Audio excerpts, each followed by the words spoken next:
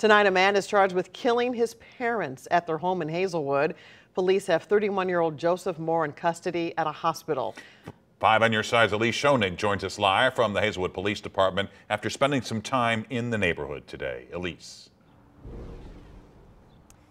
Yeah, guys, neighbors were pretty shaken today after we spoke to them, after what they saw last night. Some of them even told me that they stood feet from the home where police arrested Moore after they found Moore's parents shot to death inside. It was a open line disturbance. Um, there were shots fired involved, neighbors calling. Lieutenant James Tashner with the Hazelwood Police Department says officers were called to Woody Court Tuesday night in Hazelwood. Police say when they showed up, a man shot toward a Hazelwood police officer.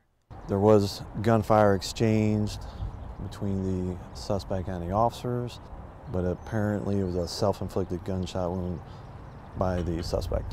Officers took the man to the hospital after he shot himself, where he is still recovering. There's twofold uh, investigation. Hazelwood's investigating the homicide aspect of it. St. Louis County is involved in the uh, officer-involved shooting aspect of it. Police say when they went inside the suspect's home, they found 63-year-old James Moore and 70-year-old Norma Moore dead inside their home. So it wasn't a random a violent act. This was everybody knew each other. They were all family members.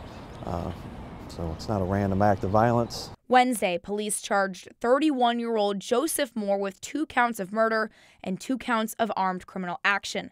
They say he lived in the home with his parents, James and Norma, on Woody Court. Pretty chaotic scene last night. Uh, some of the neighbors are still upset about. It. We're still interviewing some of the neighbors. Uh, once again, it's ongoing. Five on Your Side talked to several neighbors who didn't want to go on camera, but talked in detail about this tragedy on their street. They say Woody Court is usually a quiet place, but Tuesday night painted a different picture of their typical peace. No danger for the public. Suspect is in custody. Uh, that's what we advise the neighbors.